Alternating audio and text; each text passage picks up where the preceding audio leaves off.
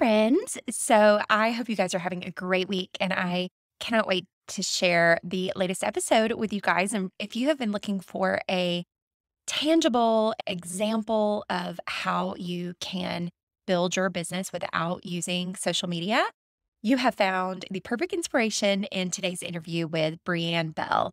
So, whether you have a medical background or a network marketing background, or even any business model in between, you will absolutely love hearing her story, especially if you are a mama trying to balance all the things and feeling pulled and distracted in a bunch of different ways, but yet you long for something that creates more freedom in your life in all the areas. You'll absolutely love hearing from Brianne.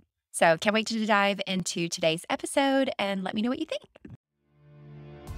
Are you dreaming of making a long term income and impact beyond your own efforts, but feel like you're struggling to replicate your results? I'm Heather, a former burned out boutique owner turned top network marketing leader, and I've learned the hard way that you don't have to do all the things all on your own. Now, my passion is helping social sellers scale their business by choosing faith over fear and using simple, duplicatable systems without having to sell your soul to social media. I'm so excited to share with you simple tips, tricks, and tools to help you take your business to the next level. In each episode, I'll share faith focused wisdom, proven systems that your team can duplicate, and inspiring stories from other leaders who have been right where you are today. Are you ready to grow your team, find joy and fulfillment, and feel free? Break out your favorite pen and notebook, and let's dive in.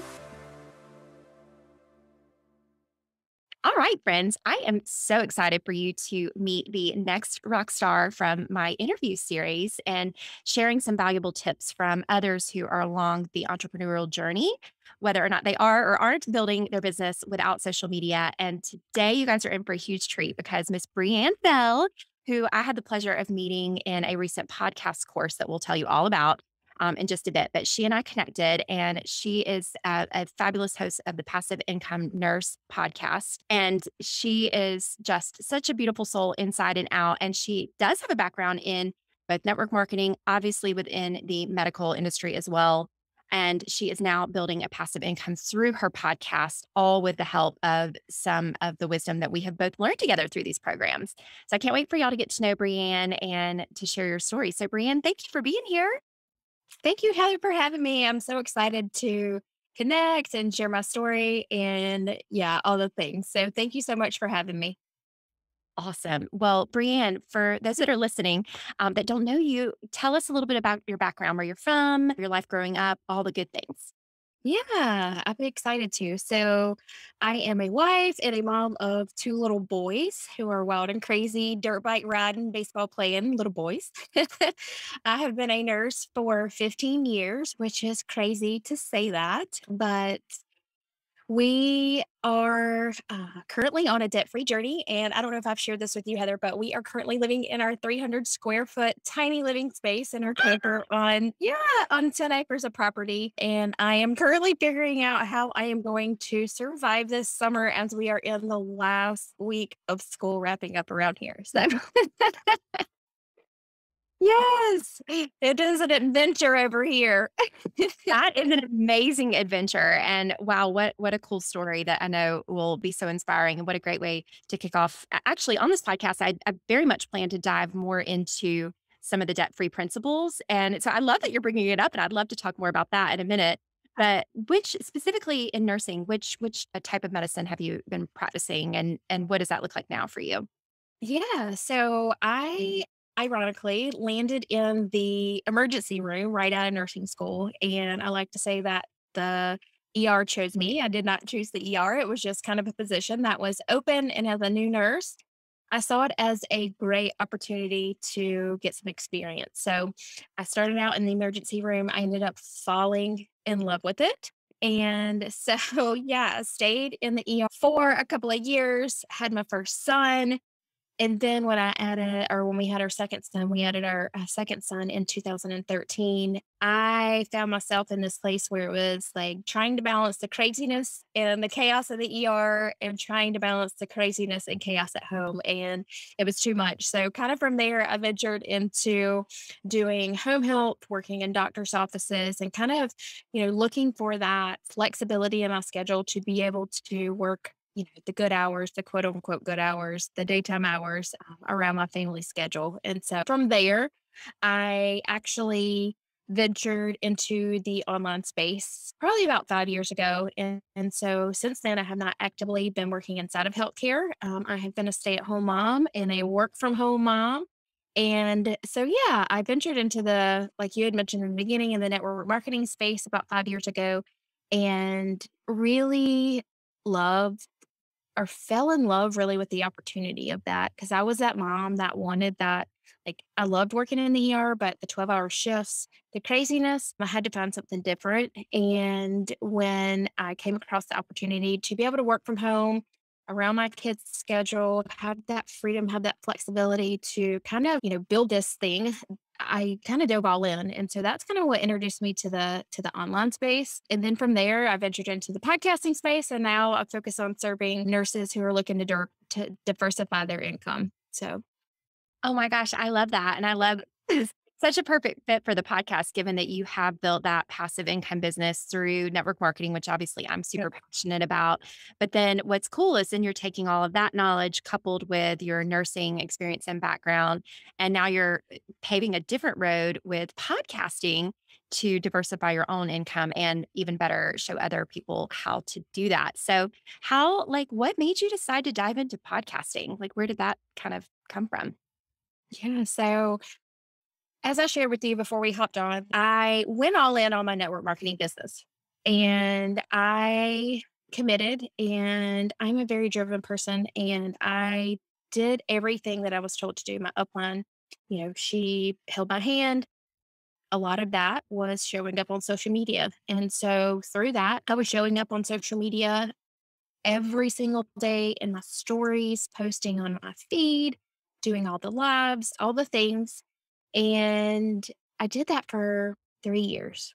And so through that, I will say that I learned so much. I learned so much from that experience. It made like I made some awesome friends. I found a community of like-minded women. I traveled. I got to go to some really cool places. And I can truly say that the opportunity in stepping into that space truly transformed me. It stretched me, it challenged me, changed my mindset. But I got burnout on social media. Um, was showing up every day, multiple times a day for three years. And it wasn't until the pandemic hit. I think we all have our COVID story. like it was like, and then COVID, uh, pandemic hit, and I really had to evaluate my time that I was spending on social media. Mm-hmm. I had always justified being on social media that I was investing in my business and that even though I was robbing time from my family and I was like hyper distracted, I wasn't present. And so when COVID hit, it forced me to evaluate what I was doing. Now kids are home. Like I can't sustain this. And so like I literally prayed and I said, God, I'm trying to build this business. I'm doing this for my family. And I'm investing so much time and energy into this but I know I can't sustain it. And so I know my kids are coming home. I'm going to be their teacher, their counselor, their principal, amongst all the other things, right? So it was so clear. I did not even question it. I had so much peace about it. It was like, your kids are your priority. And so from there, I literally I laid social media down, laid it down, and I laid it down until like I took six months off. And like until my kids like transitioned back into the school system, I was committed to being home with them, to, you know, being their teacher, all the things. And during that time, I, prior to that, I had podcasting on my heart. I didn't really know what it looked like. I was really going to go in the direction like I thought I wanted to do something around health and wellness because that's what I'm passionate about. And so once I had the like headspace and the the time that I wasn't spending on social, I'd laid that down to really process this. And then the kids transitioned back into school. It's like, okay, I'm I'm ready to do this podcasting thing. I don't know what it's going to look like, but I'm ready to go all in on that. So I did, and I took a podcasting course, which you're familiar with. You actually took as well to start to learn all about the podcasting space. And ironically enough, I was going in that direction. I was going to be talking about health and wellness. Like I went through the entire course with this health and wellness focus. And then God was like, you're going this way and you're going to serve nurses and you're going to, you know, focus on, you know, passive income and helping them, you know, have, ha- uh, learn how to create freedom and flexibility in their schedule and all this. And so that's kind of the direction I went.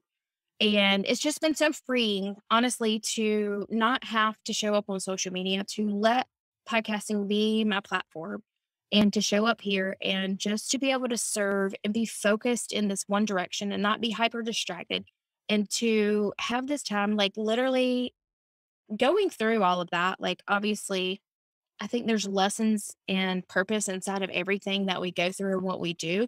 It's made me more intentional with my time now like i only do my podcasting stuff i only focus on that stuff when my kids are at school and like right now i am literally batch recording all of my episodes for the summer Really? because they're going to be home and like being in this tiny living space, I don't know what that's going to look like. So I, you know, I don't want like when they're home from school, I'm done. And so it's, it, it really just made me look at my life and like what really, like, what did I want my life to look like? Because I was truly building something that I didn't even like it, it wasn't sustainable and I don't even know that I would have wanted to sustain that that if I would have, you know, gotten to the level of what everything I had on my vision board looked like. You know, it was like all these goals that were me focused. And I really feel like with the podcast, like this is something that God is truly saying, like, this is direction, like, this is the way I mm-hmm. walk in it. And so I'm just being obedient to that. And, you know, we'll see where it goes. Wow. Oh my gosh. I love all of that so much. And you mentioned something, and I'm curious if you read the book "Be Where Your Feet Are." Have you heard or read about that book? Mm, Have yes. is that Yeah. is that an, kind of an inspiration for really getting clear on what you wanted your life to look like? Yeah, it actually, so I read that book. Actually, I think it was during the pandemic and it was a good, it was a good focus book and just really shedding some light on that intentionality behind everything that you do, right? It's like my kids drive me crazy a lot of the times, but it's like I need to be present where my feet are. Like if my kid, like I don't want it, it and also it's what you're modeling for them, right? Like I and being on your phone and being distracted and you know, they're begging for your attention and your face is planted in your phone. And so I never wanted to be that mom that was distracted, ignoring my kids and modeling that behavior for them because I think in our society that they're growing up in, there's so much that we have to battle. Mm-hmm. There's so much. And with instant gratification being one of them, like I struggle with that with my oldest. It's like he doesn't know what a commercial they had Netflix Mhm. and they have YouTube. They can skip the ads and it's like instant. They need everything instantly. And so really just that's something I've been working on too with like just being present where my feet are and really being intentional with my time that I, you know, that I have with them because it's really it's so true. It's like you hear it all the time and it sounds so so like cliche, but it's like the days are long, but the years are short. Oh and so I'm really just trying to embrace that and build a business that reflects the life that I want to live. Oh my goodness. Amen to that. And I just, it's so funny how the Lord shows up with those little, like, uh, you know, kind of God winks of, of, I guess, duplicate concepts or ideas or even books. Uh, Scott O'Neill, who wrote the book Be Where Your Feet Are, he actually just spoke at our company conference or our virtual conference Wow. ago, which is crazy. Yeah. Said it, I was like, oh my gosh, that's that book, which I actually haven't had a chance to read. So I definitely um, would love to read it. And I love that both that and then also Stephanie Gass or Steph Gass. We we that's actually how you and I met. As you said, we both did the she has a course called uh, Podcast to Profit, P2P. And that's exactly how I dove into podcasting. Actually, I started with another podcast called Stories of Light. And I interviewed Steph. I'll make sure to link that in the show notes for anybody who is listening to this if they want to hear a little bit of Steph's story. But tell me more about how you found Stephanie, how you got plugged into her awesome programs like Podcast to Profit. She also has one called Clarify Your Calling or CYC. And then what Mhm. we just wrapped up was Podcast to Profit, which was a very, I, I felt like I was like taking a college, like MBA course in podcasting. I don't know about you. Yes. By far, the best part of it was the relationships that that we have built through our pod. So, how did you find Steph? Um, did you do all the courses, and what is what? How did that impact um, your journey? Yeah. So ironically, I came across Stephanie Gass in 2018 when I was in the thick of building my network marketing business. And she actually had an Instagram course, um, which is funny, right? Knowing where she is now. Um, but I, note on that, like she is, she was one of the inspirations for me stepping into my confidence to do an entire podcast based on scaling without social because she teaches us you don't have to, right? So, Mhm. which is funny because she's obviously pivoted. Pivot is a good thing. yeah, So, yes, yes. So she she has been in my life, I guess, since back then on a small scale. But yeah, so I I purchased her Instagram course and was really focused on growing my network marketing business over on Instagram. And so that was my first touch with Steph. And then from there, I kind of, you know, got really just distracted on growing my business on social media and doing all the things. And it wasn't until I believe the end of 2020 that I really like dove into where she is now. So she had since, I think she started a podcast maybe three years ago. And so from there, she kind of pivoted into, you know, she was in network marketing herself. She was climbing the ranks, she was doing all the things. And then so she's kind of pivoted into the space of really serving the entrepreneur, the Christian entrepreneur who is looking to start their business in the online space. And I just kind of binged, listened to her episodes, and I'm like, oh my gosh, I, this is this podcasting thing has been on my heart. And that's really what she talks about is like being able to leverage growing and scaling your business in the online space through podcasting. And so I was like, oh my gosh, this is like what I need to be doing. And so from there, I just kind of binge listened all of her episodes and dove right into her programs. And actually, I did not take Clarify Your Calling, but I I wish, and I may even still go back and take it because I think it's just such a foundational course that you can continually go back to to help you uncover like what is God calling you to do? And in different seasons, it's going to be different things, right? Like that's why we pivot. That's why we give ourselves permission to, you know, when we see or see an opportunity or hear something, we know that it's okay. Like, okay, this is, I need to go this way. And so clarify your calling really helps you with that foundational piece of uncovering like what are your skills what are your gifts what are your talents what are your what are your life experiences that you can really dive into and uncover and how can you use them in the online space to be able to serve others to be able to make an impact and to ultimately be able to change someone's life. And so i love that course for that exact reason. It's rooted in you know biblical foundations of really partnering with god and figuring out how you can show up and serve others. And ultimately, I feel like every single one of us is on this earth for that exact purpose to figure out like what is God calling us to do and how can we show up and serve others. And I heard it in a sermon one time like, how can we provide this excellent environment for people to be able to bump into Jesus? Like, that's our goal in life. And so, really, this is a foundational of course that helps you do that, which is getting clarity on your calling. And then she has the other course, which is Podcast Pro University, which I always get mixed up with Podcast to Oh Profit. gosh. Podcast Pro University is her course, an amazing, just step by step way for you to be able to take whatever that is that you've gotten clarity on and turn that into an online business in the online space and use using podcasting to be able to show up as you know this is your platform that you're going to be serving others you're going to be sharing all of your information and it's the prime environment for people to want to learn from you. So think about like showing up on social media people are not in the mindset to learn from you. They want to be entertained they're not there to learn and they're not in the mindset of learning they're not in the mindset of purchasing from you And so in the podcasting space, it positions you at a place where number one, you own it. You you own the content. It's not like social media where it could be gone tomorrow and all of your followers are lost and you have no contact with them. So you own the platform or you own the content rather. And people are coming to podcasts to listening. Why are you listening to this podcast? Because you want to grow and scale your business off of social media. You're coming here to learn something. You're coming here to grow. You're coming here to be inspired.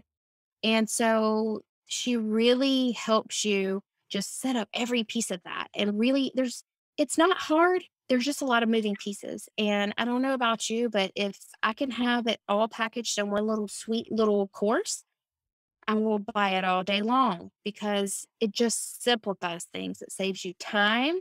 And if it saves you time, it's worth the investment. And so, yeah, I went through that course. And then the natural next step was to move into, she has a mastermind program that's a podcast to profit, which Heather was talking about. Like, it's literally like an immersive course, college course, an intense course where you're doing homework, you're doing all of these moving pieces of market research and figuring out, like, you know, the number one problem that you're going to show up and solve, and then really how you can leverage using um, SEO and how to title your episodes, and just so many moving pieces that really just puts it into a business model for you to be able to monetize. So, yeah.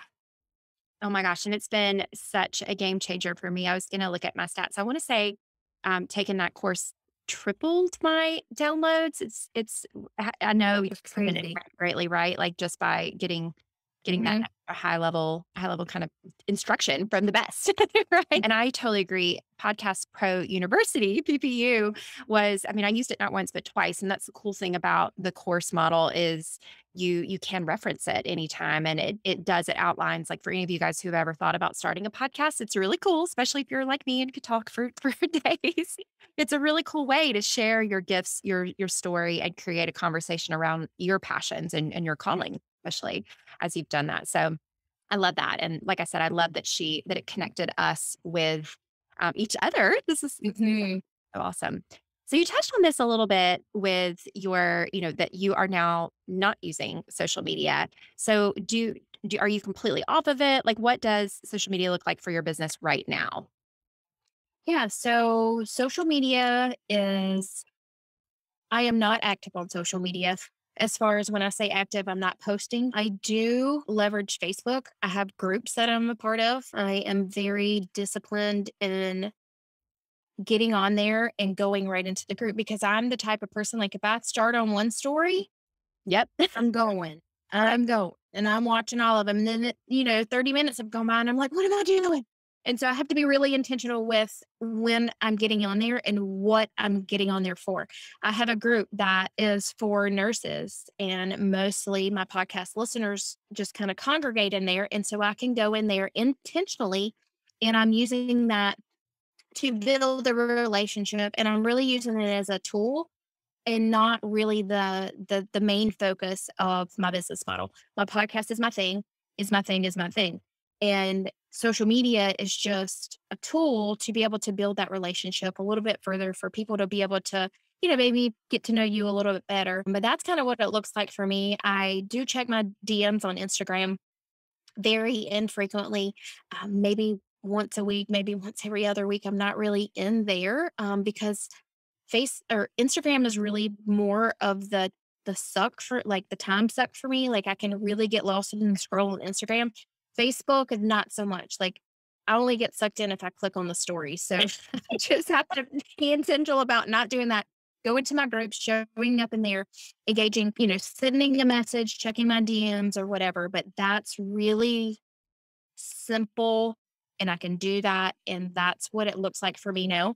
In the future, may it look different? I'm open to that. But right now in this season, that's what it looks like for me. I love that. And I know in both PPU, Podcast Pro University, and Podcast to Profit, we learn some different ways to promote the podcast, even outside of social media. But what does that look like in terms of promoting your business? Is it, you know, specifically through the podcast? Do you leverage email, text campaigns, or are there other ways outside of your Facebook group and obviously your your podcast platform that you kind of share the love or market your business, if you will? Yeah. So I show up on my podcast. And I have been podcasting for a little over a year. And I think I'm at like almost 34,000 downloads. Wow. And so, Oh, that's amazing. yeah, so that right there, without social media, is enough for me to say, okay, like give me confirmation that I'm in the right place. I do have an email list. It's a small email list. I'm just um, starting to really build that. And so that's all it looks like for me right now. It's my podcast. And I have, you know, created a downloadable for my nurses. It's called the Passive Income Toolkit. Mm. And, and so they can download that and get access to that. And then I can serve them, you know, through my email list that that I'm building. But that's all I'm doing right now is just simply podcasting. Oh my goodness. And I love that you touched on the fact that you're even batch recording, like you've got one right after Mhm. this, right? And Yeah. Doing this one with me so that you can intentionally spend the entire summer with your children because essentially you're taking your time to record them all in advance, schedule them, upload them in a strategic way, and then be able to like live the life exactly where your feet are, like you said. So I would love to include the the link to your toolkit in the show notes. That's okay. But Yeah, yeah, so it's- Absolutely. is it, would you say it would specifically be for someone in the medical um, community? Right. Yeah, so anybody can download it. It can, I have, so the way that um, I am currently, my podcast is the passive income nurse. So what I am currently doing is all passive. And so in the toolkit, like I said, it's it's called the passive income toolkit for nurses, but literally anybody can download it. But that's who I'm niched into. And so that's who I speak to. It's I have affiliate links in there to the courses actually that we were talking about. I have podcast episodes linked up so you can go and listen. Like if you're wanting to diversify your income, it can literally be for anyone um, who is looking to diversify their income, create some freedom, create some flexibility in their schedule. And so it really just gives them a couple of different avenues that they can go to be able to look at different options that may work for them. Oh my goodness, what an incredible resource. Thank you so much for for sharing that. And I feel like people even other than nurses you know, download it and and that would definitely be a great place. I can also share um, some information about all of the Steph Gass courses because again, I having had an incredible experience in the ones I've taken, I can't speak highly enough. And and of course, I would love for for you to get the credit for it, Brianne too. So I'll make sure to share Brianne's uh, Bitly link for those of you who might be interested in building a podcast or even you know even though clarify your calling isn't necessarily geared towards that's just eh, you know finding your calling for how to show up in the online space whether that's podcast or not right Yeah. Yeah. Yes. I mean, Steph Gass speaks to podcasting because that's, you know, that's kind of the business model that she's, that's worked for her and she's done really well with it. And so, yeah, you can totally take, you know, if blogging is your thing, go, you know, there, there's only three ways like you can grow and scale your business in the online space. And that's podcasting, that's YouTubing, or that's having a blog. And so you can choose three of those, whatever one, if you love to do video. And, you know, I mean, I know a lot of people are into, you know, you're in the makeup industry. And so, like, if that's your thing, you can totally start a YouTube channel. But the key is just to have some kind of long form content that you can grow and scale. So we can build a business on social media. It's been done. Like you can build it there. But if you want to grow and scale, you have to have some kind of long form content that you own. And so it's just easy for busy moms to show up behind a microphone and not worry about having to get on video or worrying about how to write. And that, so that's just the platform that that works best for, you know, for your lifestyle to be able to, to, to show up where it's easier for you. I love that so much and and i love that you contrasted those online platforms versus social media because obviously we don't own our social media i feel like i hear a new story every single week for someone who completely loses their account gets hacked and they lose it Mhm. completely start over. Plus, I know, you know, that when you shoot, Steph says this, when you stop showing up on that platform, you stop getting the results from that area. And Mhm. so essentially your income, it's not passive. Your income is tied to your action and your efforts. And then to circle back around to some of the things that you said at the very beginning, honestly, we're, I think so many of us are just addicted. We're downright addicted to the scroll and to the consumption aspect of social media. And people in general aren't using it as a business tool. They're using it as like a time suck and it, it does create distraction and and it can take away from the things that are most important like you said for you that's that's your family so i love love that you contrasted those so do you have any other advice as we wrap up for anyone who is trying to scale their business anything that we haven't shared that that might serve someone who is like okay i'm done with this i'm gonna be like brianne and just stop it Yeah.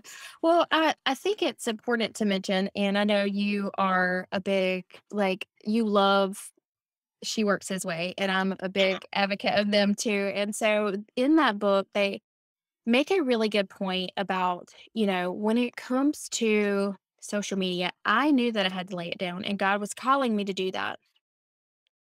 You may be in a place where, you know, you are maybe using it for your business and God is calling you to be really bold and be loud and share your message. And that's okay too. Know that just because I laid it down completely does not mean that you have to lay it down completely.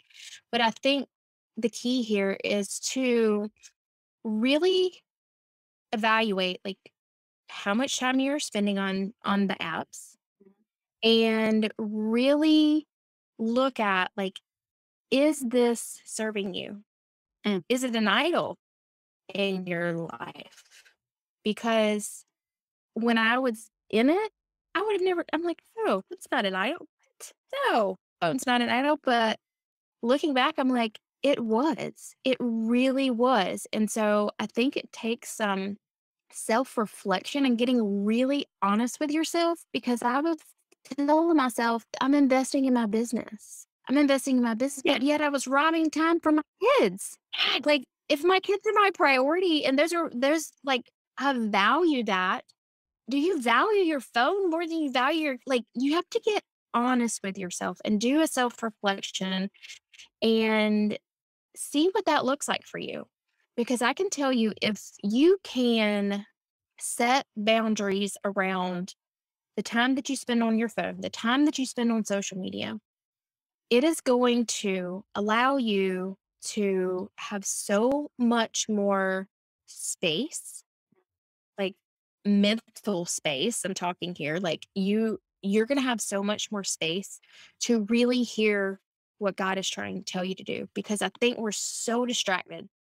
We miss so much of what is right in front of our face because he's he's there all the time, all the time, and we have to be aware of it. And if we're hyper distracted, we're not going to be aware of the little things that he's putting in front of us every single day to take action on. Uh, And so evaluate that for yourself. What does that look like? Are you distracted? Are you idolizing your phone? I know that sounds harsh, but really, like, are you, is it an idol in your life? Be honest with yourself. Because when you can lay it down and you can open up that space and you can open up your eyes to opportunities, they're there. So, my advice would just stop being distracted. I love it so much. And I always like to preface all of these episodes with, you know, this everybody is in a different season of their entrepreneurial journey. And there are multiple types of people that are listening at, you know, at any given point. Some who are done with it, some who are like Yeah. just trying to kind of balance it out. And then others who quite frankly love it. And and like Yeah. you said, they've been called to use their voice on the platforms of social media, but they likely have people that they also serve who maybe is is you know they're looking to for another option for for an alternative. I think you so beautifully touched on that. And actually, Summer Phoebus and Michelle Myers that wrote the the book "She Works His Way" have agreed to let me interview them. So I'm so excited that episode will be So excited. exactly what we want to talk about is diving a little deeper into that. You know what that looks like and how you even should know because you shouldn't avoid it out of fear because that's a whole other thing that some people Yes. they they don't show up on social media because they're just scared or scared to put themselves Right. out there. And that's not cool either. It's this is Yeah. where the the person just like you, Brianne, the mama who feels like that is taking away more. It I actually got chills as you were talking. My favorite movie is The Greatest Showman. And Mhm. that song, I'm getting chills again too. The uh, from now on, I love that part in the movie so much when he has this pivot that he's been building this thing for his family, but it's completely taken him away from his family. And so I think we all have to get really clear internally on, you know, that all all of the tools that we're using and all of the eh, you know the ways that we're spending our time in our business and is it really serving the ones that are most important and is it serving where your feet um, are so Oh my goodness, Brianne. Thank you so much for your time today and all of your beautiful advice and wisdom. So, obviously, you, we've already said where people can find you the Passive Income Nurse podcast, which of course I'll link in the show notes. Is there anywhere else? I know you've got a website as well, right? BrianneBell.com. Is that right? I do. Um, yeah, it's kind of under construction at the moment. So if you want to come hang out with me, I've really been trying to network on LinkedIn. Mm-hmm. And I'm finding that that's where my nurses are. And so I have been trying to be more intentional about showing up over on LinkedIn. It's Brianne Bell. You can find me over there. And then also, I can share with you, I can give you the link for the toolkit if anyone is interested in downloading that. And then that actually has the links in it for the affiliates for Clarify Your Calling and Podcast for University.